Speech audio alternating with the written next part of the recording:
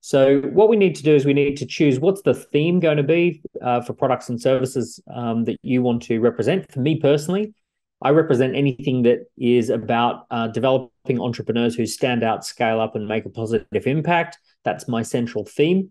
Um, so even though I'm, uh, I've, I've got seven companies in the group of companies that I run. Uh, my central theme for all of those companies is to that those companies are about developing entrepreneurs who stand out, scale up, and make positive impact. Um, so there's a theme to the products and services.